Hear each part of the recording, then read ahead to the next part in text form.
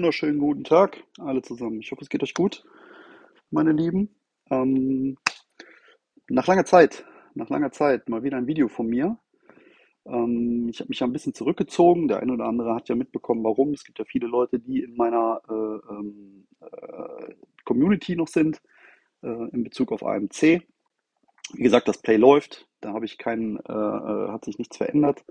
Ähm, habe meinen Fokus aber auf andere Dinge gesetzt, ähm, unter anderem halt das, das aktive Trading habe ich äh, wieder für mich jetzt ähm, aktiviert und habe mich intensiv mit der Thematik auseinandergesetzt und äh, ja, äh, habe da auch einen kleinen äh, Discord, da sind irgendwie 600 äh, Leute ungefähr dabei, ähm, wo wir uns aktiv austauschen, also wirklich jeden Tag äh, im Sprachchat sind und über äh, aktive Setups sprechen, wo wir in Aktien reingehen, warum wir reingehen, warum die technisch gerade attraktiv aussieht. Und ja, da ist jeder äh, herzlich eingeladen, äh, dazu zu kommen, ähm, sich zu beteiligen, vielleicht auch nur zuzuhören, äh, vielleicht was mitzunehmen, Fragen zu stellen. Also wir machen jetzt eigentlich jeden Tag immer live. Und äh, ja, ich freue mich, wenn er dazukommt. Und da gibt es jetzt einen Punkt, der mir halt extremst geholfen hat. Ähm, äh, ähm, ja, mein, mein, mein Setup zu verbessern.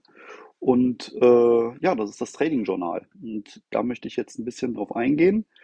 Ähm, das Ziel eines erfolgreichen Traders ist es, ist es, den besten Trade zu machen. Geld ist zweitrangig. Das ist ein schöner Satz von Dr. Alexander Elder. Ähm, der hat auch ein gutes Buch geschrieben, ähm, Day Trading for a Living. Ein super Buch, kann ich nur empfehlen. Ich verlinke es auch nochmal ähm, unten drunter. Ja, und ähm, was ist eigentlich ein Trading-Journal? Und äh, wie funktioniert das? Da will ich euch mal äh, Insights geben ähm, dazu. Möchte aber auch vorab sagen, dass ich äh, von dieser Firma TraderSync äh, äh, gesponsert werde, ähm, dass ich dieses Video mache, nur damit ihr das einmal, einmal wisst. Ne? Und ich haue auch einen entsprechenden Link unten rein, wo ihr dann eine siebentägige kostenlose Version nutzen könnt. So, ähm, ich würde aber das Video auch nicht machen, wenn ich nicht 100% davon überzeugt bin. Also jeder, der jetzt bei mir im Discord ist und äh, schon mitbekommen hat, wie äh, intensiv ich das führe und wie sehr das hilft, seine eigene Performance zu ver verbessern, ähm, der wird, glaube ich, auch sehr schnell erkennen, was die Vorteile sind von so einer Software. So, mir ist, mir ist nur eine Sache wichtig, das muss nicht das TraderSync äh, sein, sondern äh, das kann jedes andere sein. Du kannst auch ein Excel-Sheet führen. Ich finde es halt einfach komfortabler, das in einem, in einem Programm zu machen, was automatisch halt äh, die Dinge abnimmt. Aber da gehen wir gleich mal ein bisschen drauf ein. Jetzt erstmal grundsätzlich, warum ein Trading-Journal überhaupt führen? Ja, also du setzt dich in erster Linie mal wirklich intensiv mit deinen Trades auseinander. Nicht nur im Vorfeld, sondern vor allem, wenn du deine Trades dir nachher anschaust, das können wir gleich mal zusammen machen, ähm, wie ich das exakt tue und was dann auffällt, ob das Setup gut war oder ob das schlecht war. Und dieses Auseinandersetzen, diese Reflexion mit einem Trade ähm, hilft dir zukünftig, sich zu verbessern. Also wenn man konkrete Fehler feststellt, wo man gesehen hat, hey, das Setup war eigentlich jetzt technisch überhaupt nicht sauber. Ich bin vor einem äh, klaren Signal eigentlich in den Trade gegangen, vielleicht emotional, ja, weil ich Angst hatte, was zu verpassen oder dergleichen. Ähm, und wenn du das dann in der Häufigkeit siehst, dann stellst du das zukünftig im besten Fall halt auch ab. Ne? Wir wissen ja alle, kennen es nicht können und wissen es nicht wollen. Aber äh, in der Regel ähm, sollte sowas helfen, um Fehler halt zu vermeiden zukünftig. Ja? Also dass sich Fehler einfach zu oft wiederholen. Das passiert mir zwar heute immer noch, ähm, dass äh, viele, viele Fehler auch bei mir im, im, im Trading drin sind. Ähm, aber es hilft mir auf jeden Fall, mich zu fokussieren, ne, weil ich einfach keinen Bock habe, mich mit eigenen Fehlern nachher nochmal auseinandersetzen zu müssen. So, also du setzt dich intensiver mit deinen Trades auseinander. Ne, du reduzierst dadurch deine, deine impulsiven Entscheidungen. Das heißt, ähm, mal eben zu sagen, ja, ich hatte ein gutes Gefühl, ich glaube, äh, die Aktie steigt jetzt. Ne? Äh, Glaube und Hoffnung ist ein sehr schlechter Ratgeber äh, an der Börse. Ist auch etwas, was ich jetzt die letzten zwei, drei Jahre auch äh, oft manchmal blutig gelernt habe ähm, dass man halt aus einer Impulsivität oder aus einer Emotion, vor allem so FOMO oder ähm, äh, aus Gier oder vielleicht sogar aus Angst eine Position zu früh schließt, ähm, ja, das reduzierst du. Ne? Sondern es gibt einen klaren Einstieg- und Ausstiegsplan und äh, ja, das reduzierst du halt dadurch. So, dann du identifizierst Setups, ne, welche funktionieren oder nicht, also welche, welche Strategien funktionieren bei dir, welche Strategien funktionieren vielleicht nicht so gut und du erkennst vielleicht auch äh, Schwachpunkte in deinem Trading oder Punkte, an denen du halt arbeiten kannst. Ja, das seht ihr aber gleich, wenn, wenn wir ein bisschen detaillierter reingehen. Dann, du siehst deinen tatsächlichen Fortschritt, ja, und vor allem warum. Also hast du wirklich ein funktionierendes System oder hast du einfach nur mal, ich sag mal, Glück, dass äh, jetzt ein paar Trades gut aufgegangen sind. Und auch, auch da, mir ist ganz wichtig, es kann auch, also es passiert auch oft an der Börse oder wenn man halt einen Trade macht, dass der Trade positiv ausgeht. Das heißt, du verdienst Geld, aber er war technisch eigentlich total schlecht ausgeführt. Also du hättest vielleicht noch mehr Gewinn mitnehmen können. Du hattest eigentlich nur Glück, dass der Kurs auf, also äh, für dich gelaufen ist. Ähm, du hattest keinen klaren Plan. Ja, und äh, diese Dinge zu identifizieren, helfen halt massiv zukünftig nochmal erfolgreicher zu sein. Du arbeitest einfach strukturierter, einfach weil das äh, einfach schon in, auch in einer strukturierten Form ähm, äh, vorliegt, ja, und du dich nochmal intensiv damit auseinandersetzt, ne, und du triffst deine Entscheidung halt datenbasiert und nicht einfach aus dem Bauch heraus. Natürlich nicht immer, wir sind immer nur Menschen, ne, wir bleiben auch Menschen und das ist auch so, das ist gut so, das ist auch die Krux dahinter. Aber ähm, wenn du halt schwarz auf weiß siehst, dass du zum Beispiel bei mir am Abend nicht mehr traden solltest, ja, oder ähm, ein gewisses Setup nicht funktioniert, dann äh, reduzierst du vielleicht auch deine, deine Trading-Zeit zu den entsprechenden Zeiten, wo es halt keinen Sinn macht. Ne? So, dann ein ganz wichtiger Punkt ist wirklich das, das aktive Trade Management. Also jeder kann ja auf den Knopf drücken und äh, sagen, ich kaufe oder short, also ich, ich äh, gehe jetzt long auf eine Aktie oder ich gehe jetzt short auf eine Aktie. Ähm, das wirklich Wichtige ist ja wirklich, wie wird der Trade aktiv gemanagt? Also wenn du jetzt in einen Trade drin bist, manchmal auch sogar davor. Also wie planst du deinen Trade? Hast du eine richtige Risk-to-Reward-Ratio ausgewählt? Hast du deinen dein äh, Stop so gesetzt, dass er sinnvoll ist, dass du nicht sofort wieder aufgrund der Volatilität ausgestoppt wirst? Ähm, und äh, steuerst du deine, deine Exits sauber aus. Ja? Und dabei hilft dir einfach so ein, so ein Trading-Journal. Ja, so der letzte Punkt mh, hm, dazu ist halt, also ich bin davon überzeugt zu 100 Prozent, dass ein Trading-Journal bei jedem in der Toolbox sein sollte, wer halt, welcher halt professionell und erfolgreich ähm, ähm, sein möchte, äh, angehen möchte, heißt es hier übrigens.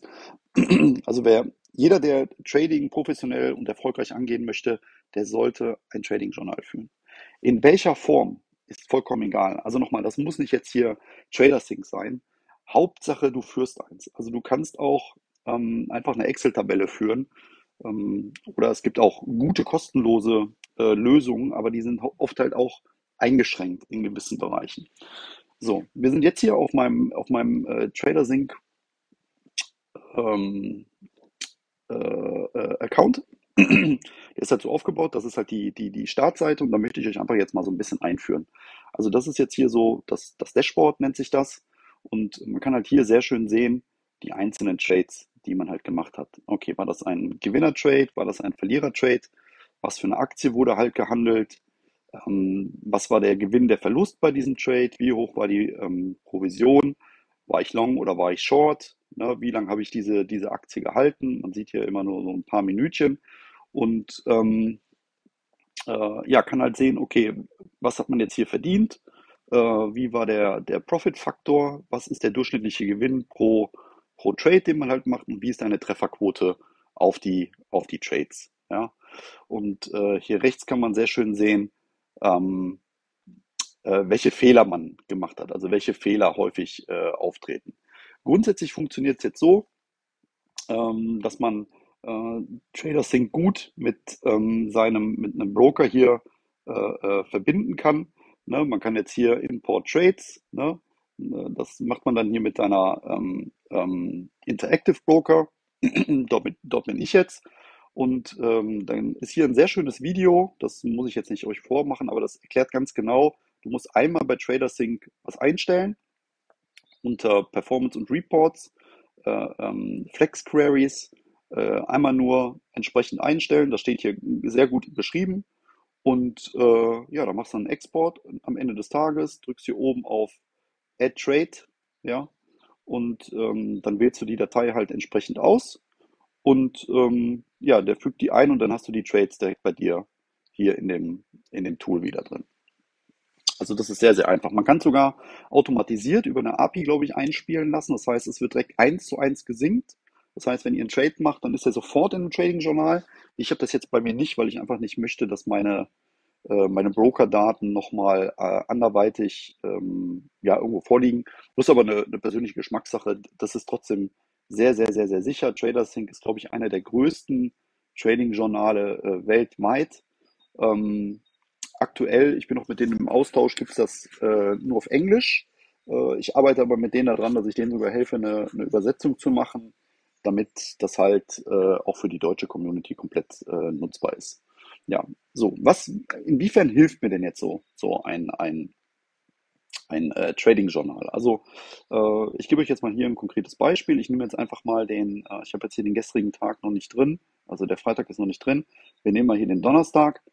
Ähm, und äh, da gucken wir uns jetzt mal hier die Trades an. Da sieht man, da ist noch ein Trade offen. Den hatte ich nicht geschlossen, als ich den Report gezogen habe. Alle anderen sind halt hier schon, sind halt hier schon enthalten. Das war ein sehr, sehr guter Tag, wo ich die AMC-Geschichte, ähm, diesen AMC-Ausbruch gut mitgeritten habe. Nochmal im Daytrading. Ähm, ja, und äh, äh, ja, konnte, nee, nicht, nicht AMC, sondern Rivian, Rivian war es. Ähm, äh, ja, und konnte da ein paar, paar Euro generieren. So, inwiefern kann ich denn jetzt hier konkret sagen, hier hilft mir jetzt ähm, das Journal, mich zu verbessern? Also, wir nehmen jetzt mal einfach, wir nehmen einfach mal hier bei AMC. Hm, das war jetzt, äh, das waren meine AMC-Trades an, an diesem besagten Tag. Und ähm, da bin ich dann hier in AMC zum Beispiel aufgesprungen. Ne, das, man sieht jetzt hier das Datum. Ähm, na, jetzt müssen wir mal anklicken. Das ist natürlich Klassiker. Ich falsch geklickt. So.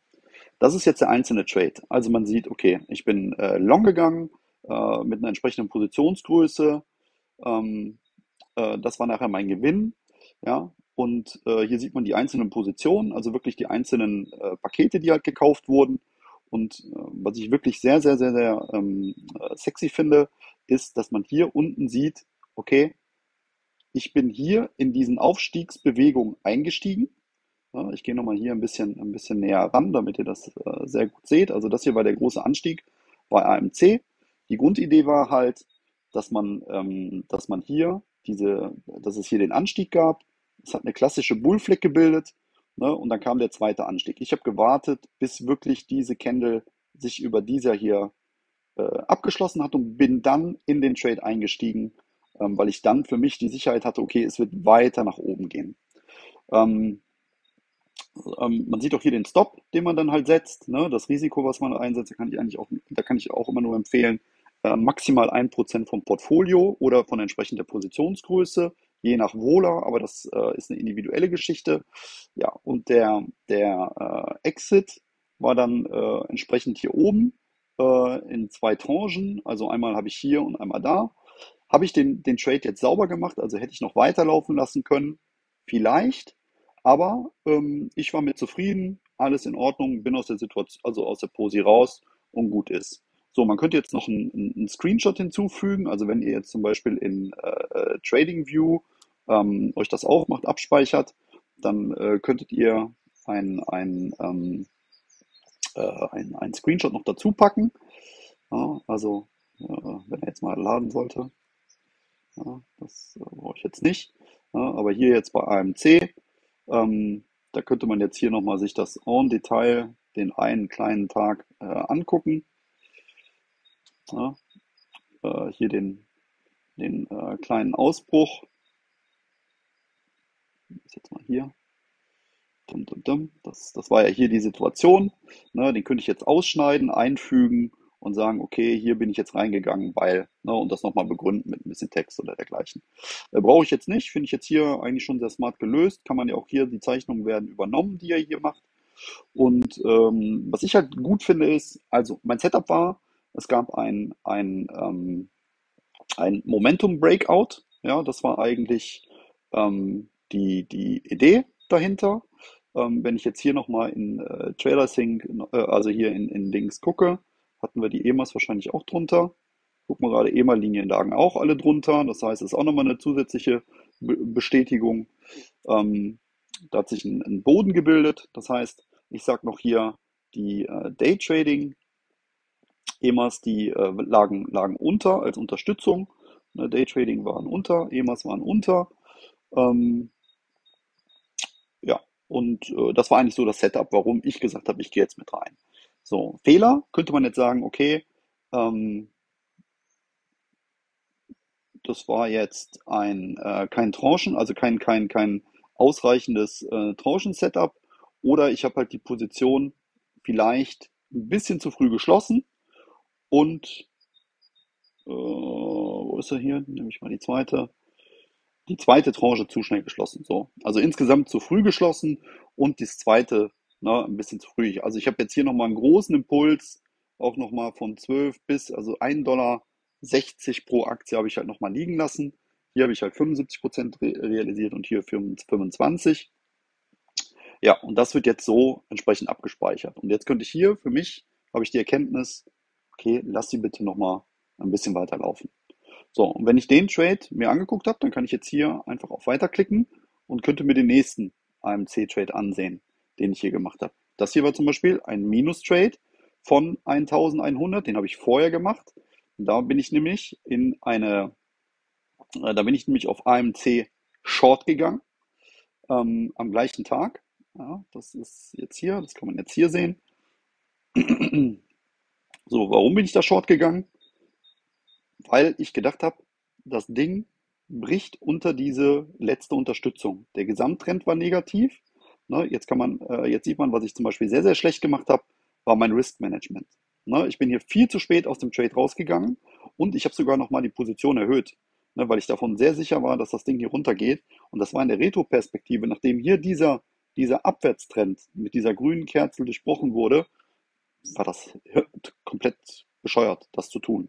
Ne, das war also, wenn ich jetzt äh, hier sehe, äh, das war in erster Linie erstmal trendkonform, indexkonform. Der Index ist in der Zeit auch abgerauscht, trendkonform. Ja, und ähm, EMAs waren, gucken wir mal hier, waren die EMAs auch noch über. Können wir auch noch mal schauen. Hm. Habe ich sie gelöscht? Natürlich super. Das nicht. So. Die EMAs waren sogar noch drüber. Also das hätte auch noch, auch noch sauber, ähm, sauber gepasst.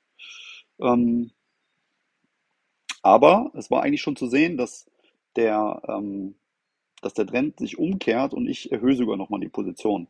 Ne? Das heißt, ähm, ich habe die, die äh, Trend-Algo-Line hier übersehen und ähm, schlechtes Risk to Reward ja, und äh, Tranche zu spät geschlossen, emotionales Trading.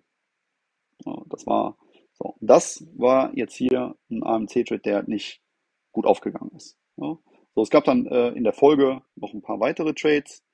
Ja, die könnte man jetzt hier alle nacheinander, nacheinander äh, durchbesprechen und äh, sich angucken, okay, wo sind denn die Fehler? Also warum bin ich jetzt hier in den Trade reingegangen und warum bin ich rausgegangen? So, das müssen wir jetzt nicht machen, das machen wir gerne auch im Discord immer wieder, seid ihr eingeladen, äh, daran, daran teilzunehmen.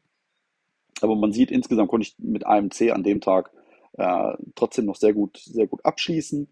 Ähm, was ich halt jetzt sehr, sehr spannend finde, ist wirklich die Filtermöglichkeiten und die Einstellungsmöglichkeiten hier. Das heißt, wir haben hier einzelne Widgets, ne? also hier seht ihr jetzt hier, die könnt ihr jetzt so ähm, äh, aufbauen, wie ihr das wollt. Das heißt, ihr könnt jetzt sagen, ich hätte gerne äh, hier auf der rechten Seite, soll man hier vielleicht mir nicht die Fehler anzeigen, ne? also hier die, die, die, den Mistake, sondern die äh, sollen versteckt werden, ähm, sondern zeigt mir, äh, keine Ahnung, äh, oder die stören mich jetzt einfach, die nehme ich jetzt erstmal raus.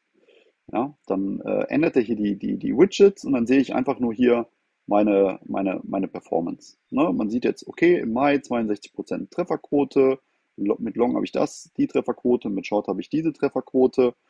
Ähm, ähm, mein, mein durchschnittlicher Return bei äh, AMC ist äh, 150 pro Trade, die ich halt da eingehe. Ne? Und äh, Donnerstag ist ein super, ein super Tag zum äh, Traden. Ja, also das ist sehr flexibel hier einrichtbar, so wie ihr das wollt. Es gibt auch hier vorgefertigte Layouts, also die könnt ihr hier auch ähm, äh, anklicken. Also sagen wir mal, ihr möchtet jetzt ein, ein, eine andere Form haben. Das heißt, ihr habt hier oben einfach nur einen schönen Balken und hier unten alle Trades. Ne? oder ähm, ihr wollt das ähm, vielleicht in einer Reihe haben. Ja, dann äh, passt das Tool sich automatisch an. Ja, das finde ich ähm, sehr, sehr, sehr, sehr spannend. Ähm, und hier oben sind halt die allgemeinen äh, Informationen. Das heißt, jetzt äh, habt ihr hier eine Liste von allen Aktien, die ich halt immer wieder mal getradet habe. Und äh, jetzt interessiert mich halt hier bei AMC, ähm, wie sieht es denn insgesamt bei AMC aus? Also was hast du äh, mit AMC äh, hier insgesamt äh, performant hinbekommen? Ähm, ja, und dann kannst du sehen, okay, wie, wie erfolgreich man auf den einzelnen ähm, Trades ist. Ja? Man sieht halt, wie lange hält man äh, eine AMC im Schnitt, wie ist der durchschnittliche Return pro Trade, wie ist deine Provision, was war die, der Brutto-Return, äh, ne? was war der Einstieg und der Ausstieg. Und auch dieses kann man hier noch einstellen. Also hier kann man jetzt auch nochmal sagen, welche Dinge man hier sehen möchte. Ich habe das jetzt natürlich für mich angepasst. Wenn ich aber jetzt äh, noch, äh, keine Ahnung, meine Notizen dazu haben möchte, dann könnte ich die hier mit, mit äh, einbauen. Ja. Ähm, ja, jetzt könnte ich auch sagen, okay, zeig mir mal nur die, nur die ähm, Loss von AMC. So, dann äh, zeigt er mir nur meine, meine Losses, die ich bei AMC gemacht habe. Ähm, jetzt könnte ich auch nochmal sagen, okay, wo verliere ich denn jetzt wie viel? Also hier bei AMC habe ich 8, 9 in der Summe verloren.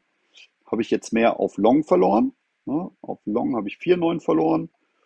Und ähm, wenn ich short gegangen bin, habe ich äh, vier verloren. Ne? Ähm, das heißt, das kann man sich sehr gut hier zusammenfiltern. Oder man sagt, okay, wo habe ich zum Beispiel ein ähm, äh, emotionales Trading gehabt? Also inwiefern, wenn ich jetzt AMC Loss habe, hatte ich hier ein emotionales Trading. Wichtig ist natürlich, dass man das vorher eingegeben hat und dann würde er dir alle, alle ein, ein äh, anzeigen, wo man halt emotional getradet hat. Das ist jetzt der der Trade, den wir halt gerade besprochen haben, ne, weil er das hier festgehalten hat. Also für mich dieses Tool wirklich, wirklich Gold wert. Auch die, auch die Report, also die Report-Möglichkeiten, die man halt hier hat, ähm, ist hier, dass man hier in, der, in, der, in, einer, in einer Übersicht, ich mache die mal eben weg, dass man insgesamt sehen kann, okay, wie entwickelt sich denn, wie entwickelt sich denn der, der Account von euch? Ne? Und hier halt auch sieht, okay, was war der größte Verlust? Ähm, was war äh, äh, insgesamt der größte äh, Profit? Wie ist eure Average Return? Ne? Ähm, wie viele Trades habt ihr gemacht? Ne? Wie viele sind noch offen? Ähm, wie viele Gewinner? Wie viele Verlierer? Und daraus ergibt sich dann die, die Hitrate. Wie lange haltet ihr im Schnitt äh, eine Aktie? Ähm, wie viel Provision habt ihr bezahlt und dergleichen und dergleichen. Und für mich ist dieses, dieses Tool wirklich extremst, extremst viel Gold wert. Also zum Beispiel, wenn man jetzt hier anguckt, ähm, Hourly, ähm, sieht man hier in den Morgenstunden, das sind jetzt hier die, die Öffnungszeiten von der US-Börse, dass man halt sieht, in den ersten zwei, drei Stunden ähm, bin ich sehr erfolgreich, dann gibt es nochmal um 14 Uhr, wenn aber wirklich hier der Mittagsbauch ist, dann äh, lässt meine Performance deutlich nach. Ja, oder vor allem, wenn ich dann auch mal im Aftermarket äh, irgendwas gemacht habe, das hier war ein, ein äh, Schwachsinns-Trade mit Netflix, als er so runtergegangen ist ähm, in der Nacht. Ähm, äh, ja, äh, da habe ich halt einen großen Verlust eingefahren. Äh, ja, das, das zeigt mir hier das äh, äh, Tagebuch und erinnert mich nochmal schön daran, was ich manchmal auch für ein, für ein Esel bin in gewissen Aktionen. Ne? Man kann sich anschauen, okay, welcher Wochentag ist bei mir oder bei euch erfolgreich. Bei mir sieht man jetzt, freitags kann ich eigentlich frei nehmen, da sollte ich jetzt nicht äh, traden ne? oder welche, welche ähm, Positionsgrößen. Bei mir, ich bin in der Regel zwischen, äh, also maximal bis 20 äh, Dollar so eigentlich unterwegs, alles so darunter. Ne? Aber Penny Stocks nehme ich nicht, weil ich halt pro, pro Aktie bezahle bei meinem Broker. Ähm, aber man kann halt sehen, dass äh, wenn ich jetzt eine größere Aktie, ich glaube hier war es Tesla mal ähm, und dergleichen, ähm, das war nicht sehr erfolgreich. Ja, ne? oder wie hoch das Volumen ist oder hier halt auch zu gucken, welche Ähm, wie erfolgreich ist man auf den einzelnen, auf den einzelnen Aktien? Ne, da sieht man jetzt hier ähm, äh, bei AMC. AMC ist halt hier der, der, der größte Posten bei mir. Äh, dann eine BTTX ist ganz gut, eine Meilen habe ich ganz gut ähm, äh, äh gedaytradet. Da, da, kann man jetzt auch schon, das ist jetzt äh, ähm, exklusive Provision. Und wenn ich jetzt sage, okay, zieh mir noch die Provision bitte ab, ja, dann äh, sieht man halt, wie sich der Wert hier entsprechend verändert. Ne? Und man sieht halt auch, okay, hier bei einer Veru habe ich noch ein äh, Minus, Proc, das war halt eine ganz, ganz kurzer ein Eintagestrade, als bei mir die äh, Stops nicht gegriffen haben und ich habe dann manuell zu spät äh, ausgelöst ne? und das hat einen großen Verlust für mich äh, bedeutet. Ne? Ja, dann kann man sehen, welcher, welcher Sektor. Ich glaube, der Sektor ist nicht hinterlegt. Das kommt ein bisschen darauf an, ob das äh, äh, hinterlegt ist. Man kann aber die einzelnen Aktien für sich ähm, nochmal festlegen. Ne? Also zum Beispiel, dass AMC im Entertainment-Bereich ist ähm, und dergleichen. Ne? Hier bei Holdtime, das fand ich ganz, ganz spannend. da kann man zum Beispiel sehen, dass äh, ich viel jetzt auf Breakouts äh, gewechselt bin. Also ich gucke wirklich auf Aktien, die kurz davor sind, ähm, ein neues Hoch zu machen. Entweder ein neues Tageshoch oder äh, ein direktes Alltime-Hoch.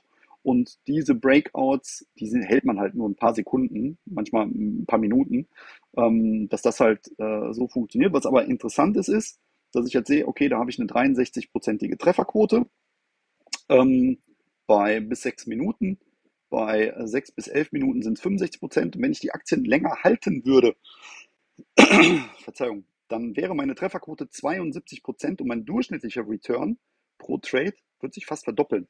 Das heißt, ich muss dringend daran arbeiten, versuchen, meine Trades länger zu halten. Schaffe ich aktuell noch nicht. Ja. Ähm, das wäre aber jetzt etwas, was ich hier aus diesem Tagebuch erkennen könnte. Ne? Äh, da muss man jetzt natürlich auch noch gucken, heißt jetzt 11 Minuten oder sind es eher 15 oder 20 oder muss ich eher in Richtung 30 gehen? Das sind halt Punkte, die muss man sich individuell anschauen pro Trade. Wo macht das jetzt Sinn? Ne? Ähm, aber das sagt das Tool dir. So, und das finde ich halt auch äh, super, super spannend. Er hat auch hier so eine schöne, so eine schöne Kalenderübersicht, was ich auch sehr schön finde, wo man halt sieht, okay, hier der Mai gab es halt insgesamt äh, neun Trading-Tage, davon waren jetzt äh, acht grün. Dann der April, da sieht man dann auch äh, sehr schön, ne, wie viele Trades man gemacht hat, ob man mit Gewinn oder Verlust abgeschlossen hat. Hier sieht man nochmal von meinem Tagebuch die Notes. Ne, das sind die Notizen, die ich äh, ähm, eintrage. Ich share das halt auch nochmal in der Regel auf dem Discord. Und da wird halt genau beschrieben, was habe ich an dem Tag gut gemacht, was habe ich schlecht gemacht ähm, und dergleichen. Ne? Das, das trägt man dann hier so entsprechend ein, wenn man sich den Tag halt hier nochmal anguckt. Ne? Da sieht man halt, okay, der Tag ist so und so gelaufen.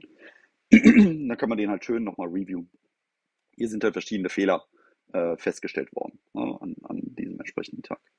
Ja, dann noch eine ganz tolle Sache, wie ich finde. Ähm, dann gibt es hier so einen sogenannten Simulator. Das heißt, der Simulator äh, zeigt dir auf, was wäre denn, wenn du gewisse Fehler abstellst. Das heißt, ähm, hier habe ich jetzt mal einfach äh, alle, ich nehme mal alle Bereiche äh, mit rein.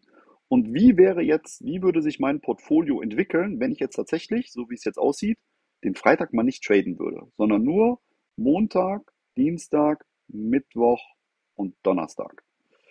So, dann sieht man, die äh, lilane Linie ist die tatsächliche äh, Entwicklung. Und wenn ich den Freitag weglassen würde und an den anderen Tagen weiterhin so performen würde, wie ich es jetzt tue, dann äh, wäre mein Portfolio ne, deutlich gestiegen. Ne? Mein äh, Average Loss wird sich deutlich äh, verringern. Mein ähm, äh, Average Gewinn wird sich zwar reduzieren, meine Win Ratio wird sich leicht verbessern, Ne? Mein durchschnittlicher Gewinn pro Trade wird sich verbessern und der durchschnittliche Return, also der Return wäre 13% in Summe höher.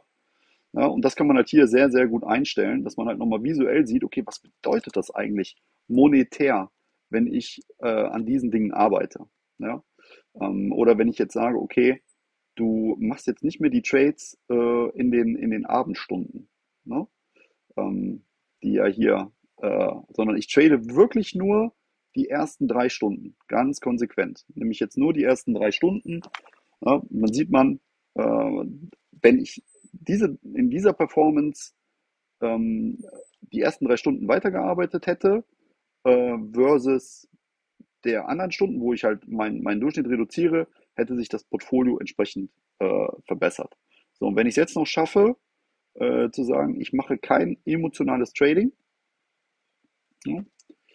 ja, das ist jetzt schön. Ja, das ist natürlich, ich habe jetzt nicht alle Trades da drin, deswegen äh, ist das jetzt nicht, äh, ist das jetzt nicht repräsentativ. Aber hätte ich jetzt alle ähm, äh, Trades äh, gezeigt, also äh, ähm, äh, getrackt, dann würde es halt zeigen, dass mein Portfolio wahrscheinlich noch besser wäre. So ist es natürlich nicht repräsentativ, weil es nur ein paar Trades sind, die ich halt damit insgesamt getrackt habe. Aber das könnt ihr, wenn ihr das sauber, wenn ihr das sauber führt ne, und euch angucken, okay, welches Setup funktioniert denn besonders gut? Ne? Also äh, habt ihr das mit den, Ande äh, mit den Algo-Lines in äh, konform mit dem Index getradet? Habt ihr gegen den Trend getradet? Ähm, habt ihr die EMAs genommen? Habt ihr SKS-Outbreaks gemacht? Ne? Also das ist ja eine ganz individuelle Geschichte, die ihr da benutzt.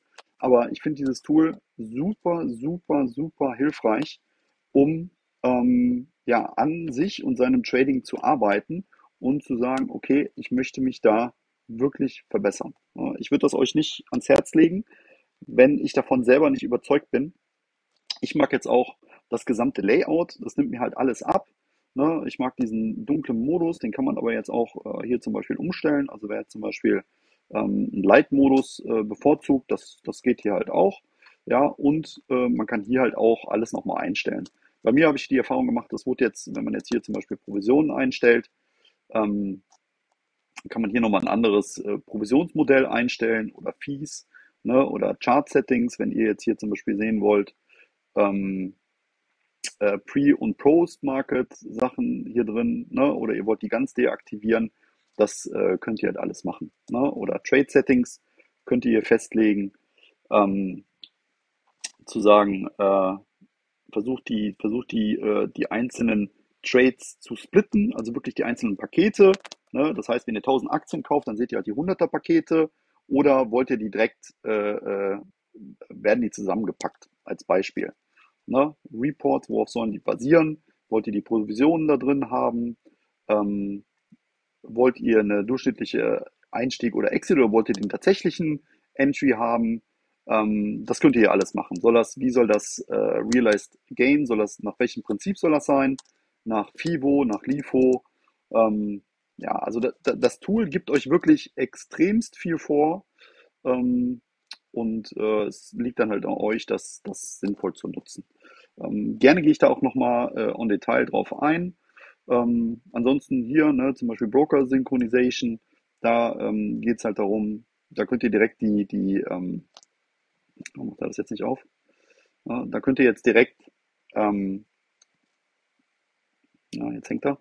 Aber hier könnt ihr die, ähm, äh, wie heißt das? Äh, zum Beispiel die API direkt verknüpfen, wovon ich gesprochen habe, und müsst das nicht sogar manuell machen, sondern es ist direkt immer aktualisiert.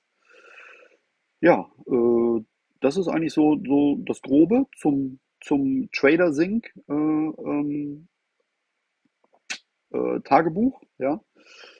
Ähm, wie gesagt, es, es, muss nicht Trader Sync sein. Es gibt gute Alternativen die äh, auch ähm, vielleicht kostengünstiger sind. Ähm, Habe ich mich aber jetzt so nicht mit auseinandergesetzt. Für mich ist es halt so, ähm, ich bin gerne bereit, da ein paar Euro in die Hand zu nehmen, weil wenn ich einen Trade habe, den ich dadurch besser gemacht habe, dann hat sich halt der monatliche Return einfach schon ähm, ähm, ja, gelohnt. Ne? Ich kann noch mal vielleicht auf die, auf die Preisstruktur eingehen. Ich weiß gar nicht, wo habe ich die denn hier? Äh, dut, dut, dut geht das hier unter Personal Account Plan. Ich gucke mal hier. Ah, hier. Ähm, da sieht man, dass äh, das im Monat, also wenn, das kommt jetzt darauf an, ob ihr ein Jahresabo oder Monatsabo macht. Wenn ihr jetzt ein Jahresabo macht, dann wird das 15 Dollar kosten. Ähm, hat dann diese Dinge drin. Ich glaube, das würde ausreichen, um ehrlich zu sein. Ähm, ja, Premium und Elite, ja. Ähm, und da gibt es halt nochmal einen zusätzlichen Rabatt, das fand ich auch ganz spannend, ähm, wenn ihr gewisse Aufgaben äh, am Anfang erledigt. Da musste man so 14 Aufgaben erledigen. Ich habe die halt hier schon abgeschlossen. Ja, das, das war mein äh, Code hier. Ähm, also hier Creating Management Plan, Adding Management Widget, damit man sich einfach mit dieser Thematik mal auseinandersetzt und ähm, äh, das Tool halt auch kennenlernt. Und dann gibt es nochmal zusätzliche 10%, wenn ihr das nutzt. Ja. Äh, ja, hier könnt ihr auch zwischen verschiedenen äh, ähm, äh, Portfolios ähm, zusammenarbeiten. Ähm, es sind noch nicht alle Broker drin, aber also die haben jetzt auch, also ich arbeite jetzt mit IBKR, also Interactive Broker. Ähm, das funktioniert in jedem Fall. Äh, deutsche Broker, wenn ihr denen dann einfach mal einen Report äh, exemplarisch von einem Tag schickt, von TraderSync, äh, haben die mir zugesichert, dass sie daran arbeiten, innerhalb von zwei, drei Tagen die entsprechenden Broker hinzuzufügen. Ja? So, ähm, und die haben einen super Support, haben sehr schnell geantwortet, fand ich super nett. Ähm, also da braucht sich auch keiner Sorgen machen, ob das dann äh, mit seinem Broker funktioniert oder nicht. Ja, ähm, das war es eigentlich jetzt so äh, von meiner Seite zu diesem für mich wirklich Game Changer Tool, was mir halt extremst geholfen hat, nochmal äh, an, an meinen Setups zu arbeiten. Speziell halt auch, wenn man im Rahmen der Community am Abend sich mit anderen darüber austauscht und sagt, hey, was denkst du denn darüber? Wie hättest du den Trade gemacht? Ne? Ähm, dieser Austausch, wo ich dann auch mit, mit anderen äh, Mitgliedern aus der Community darüber spreche, ne? also der, der, der Tag schließt und dann gehen wir darauf ein. Ne? Das, da ist jeder eingeladen, das von euch halt mit mir zu machen. Ähm, ja, das war's von meiner Seite. Dann ähm, danke ich euch für eure Zeit, freue mich, ähm, dass ihr so zahlreich eingeschaltet habt. Und ja, wenn euch interessiert, dann mache ich einen Link unten rein. Ähm, und äh, dann könnt ihr nochmal sieben Tage das tolle TraderSync-Tool äh, ausprobieren. Ja, und wird ja zukünftig wieder mehr in Richtung Trading gehen äh, auf diesem Kanal. Und jeder, der daran interessiert ist, ist herzlich eingeladen, auch auf den Discord zu kommen und das äh, ja, ähm, äh, sich dann mit uns gemeinsam hoffentlich weiter positiv zu entwickeln. Ich danke euch, das war's. Lieben Gruß von meiner Seite an alle, rockt euren Tag. Euer Jens, haut rein.